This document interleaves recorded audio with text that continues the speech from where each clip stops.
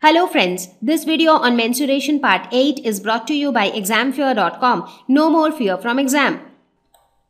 Now let us look at finding out the area of a rectangle. So we have already learned about perimeter that is the boundary. Now let's see how do we find out the area of a rectangle. So this is our rectangle. Now how much space does this rectangle enclose? So let's make use of the squared paper so we make use of the small squares just to get an idea like how do we calculate the area of the rectangle. So when you look at this, so how many squares are included, are present inside the rectangle? So if you start numbering the squares, you would see it is 1, 2, 3, 4, 5, 6, 7, 8, 9, 10, 11, 12, 13, 14 and 15. So there are total 15 squares inside this rectangle, right?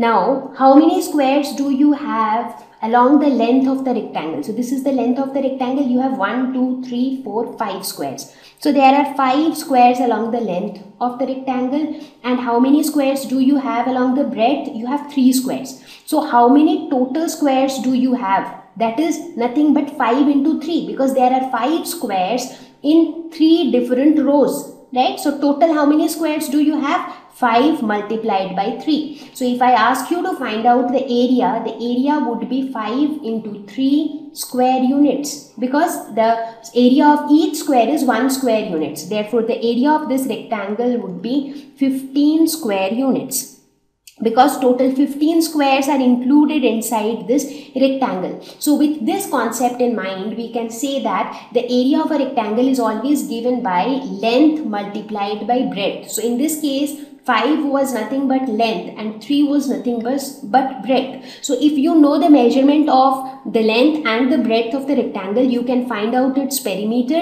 You can also find out its area unit for area of a rectangle is meter square or centimeter square. Now why is it square? That's because we are multiplying one length with another length. So like the length is in meter, the breadth is also in meter. So you are multiplying meter with meter or you are multiplying centimeter with centimeter or kilometer with kilometer. So obviously the area unit for area would be kilometer square or meter square or centimeter square. So that is where why we often say square units so that unit could be meter, centimeter, kilometer, decimeter, but overall the unit for area is meter square, centimeter square. So that's important.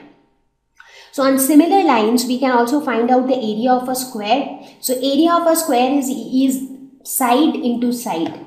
That is, when you look at the square, again you put it inside, uh, uh, put it over a squared paper. So how many squares are there inside it? So when you look at its side here this side also there are four squares and this side also there are four squares. And that's quite obvious. That's because all the sides of the square are equal. So on each side you will have same number of squares. So basically four squares in four rows. So total number of squares would be 4 into 4 that is 16 square units. So for this particular square its area would be 16 square units. But in general area of any square can be found out by using the length of each side that is side into side gives the area of a square. Thank you. Please visit examfear.com for free quality education. You can learn with a simple four-step learning process wherein you can watch video lessons, you can ask your questions, you can refer notes, and you can take a free online test. We have content for class 6 to 12 on physics, chemistry, mathematics, and biology along with practical videos. So please subscribe to our channel for daily updates. Thank you.